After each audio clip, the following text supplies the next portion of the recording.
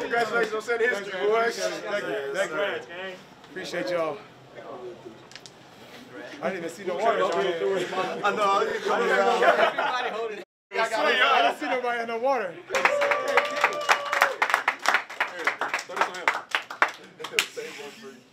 Congrats, baby. Thanks, man. Big time.